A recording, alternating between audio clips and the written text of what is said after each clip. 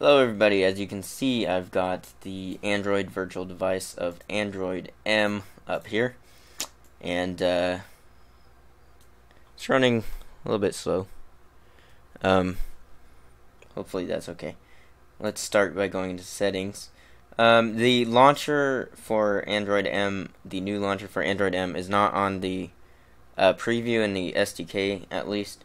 Um, some of the changes that we do know for Android M. If you haven't seen the Google I.O. for today, uh, there's going to be another tomorrow, and we'll learn more. Um, right now, we just know what they've told us. Uh, some of the changes include Android Pay, um, easy word selection, that would be like long pressing on text, and uh, selecting, which I could try to um, show y'all. Um, first one to just go through the settings. So we've got the easy word selection. We got floating clipboard tool, uh, work contact contacts and personal contacts. We've got a hotspot 2.0. VPN apps and settings, flex storage, duplex printing, app standby, seamless certificate installation for enterprise, undo, redo keyboard shortcuts, do not disturb, automatic rules, uh, data usage API for work profiles, material design support library, update, I guess. Uh, Bluetooth SAP, not exactly sure what that is. Voice interaction service, USB Type C charging, app link verification, battery historian, V2B2 BT 4.2, simplified volume controls, improved Bluetooth, uh, Doze. Uh, is pretty neat, how saving energy. Um, text selection actions, improved text hyphenation and, and justification, improved diagnostics, uh, IT admin acceptance of OTAs. Not exactly sure what that means. Google Now on tap. Um, they've done a lot to the Google Now thing. Um, won't won't be able to show you in that in here because they don't have it in this preview. See auto backup for apps, uh, unified app settings view, UI toolkit, contextual assistant framework, Chrome custom tabs. This is neat because it allows for seamless uh, transition from app to browser. Enterprise factory reset protection, direct share, corporate ownage, owned single use device support, do not disturb quick settings, um, improve trusted face reliable reliability, improve text layout, fingerprint sensor, um, performance support, alphabetical app list with search, that's with the launcher, unified Google Now runtime settings and, and permissions, work status notifications, MID, MIDI support, awesome. Portable Wi-Fi hotspot, Bluetooth connectivity for device provisioning, seven additional languages, power improvements, and Wi-Fi scanning, data binding support library, beta setup wizard, IMAP sign-in, delegate certificate certificate installation. Okay, so now that we went through this uh, list, let's uh, just look a little bit through these settings. Um, it you you'll probably just think that um, when you first see this, it looks just like Lollipop, and it does. Um, a lot of like they said in Google I/O, they've fixed a lot of bugs and made it stable and like they do every year and you know, they really haven't done a lot of changes, but um, first let's uh, go into, I guess, About Phone. We'll just show you um, that this is Android M and all that. So yeah, model number. And it doesn't seem like it's letting me go into that little uh, triple tap screen for now. So um, I already have developer settings because it comes with it. So let's go back.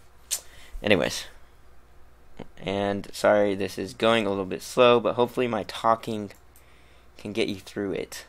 So let's go into developer options.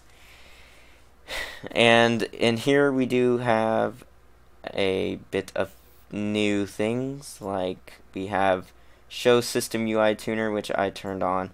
Uh, the theme, as you can see, we are running the light theme in the settings right now. Um, you have a theme for dark and automatic. I'm guessing automatic uses light sensors and that would be pretty cool. So like at night, it would use the dark theme. Um, so yeah, show system UI tuner. Uh, you can see these settings, logging, blah blah blah. I don't think there's much of anything new in here. Um, interactive apps. I don't think we have that in. Let me check. Interactive apps. I'm not exactly sure what that is. Um, I yeah, I'm I'm not quite sure what that is. But anyways, let's um, just go back and back again, and I will show you the uh, UI modifier thing, which is just the uh, or the system UI tuner. I'm guessing and hoping that they continue to add stuff to this. Right now, they only have quick settings in here, uh, so you can move around the um, menu, pull down menu.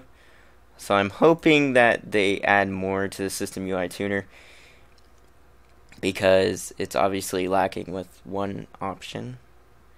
So let's go up here and we've got some uh, stuff like in the apps uh, the permission thing, I know that was the big thing today in the Google I/O today, um, where you can revoke permissions, oh, web browser permissions.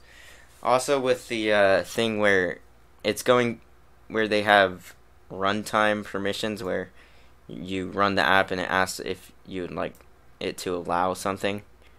Um, those type of permissions, I don't think they have it in the developer build. I don't think they have that, like what they showed in Google I/O. Okay, here.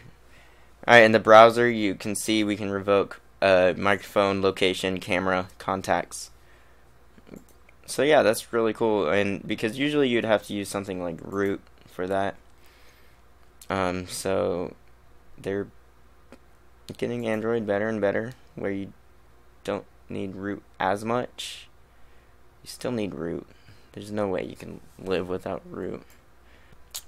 Okay, and I almost forgot to show you the text selection, so I'm going to long press on this, and you can see uh, select all copy share, and then there's this button here, which has uh, web search. So, yeah, I guess that's their simplified text selection. But anyways, I think uh, really there's not much to see. Um, besides that, like I said, there's it's a lot of it's a lot of um, bug fixes and small changes. Uh, so hopefully we'll get some more changes later on, and uh, we'll see what tomorrow brings. So thanks for watching, guys. Um, have a great day.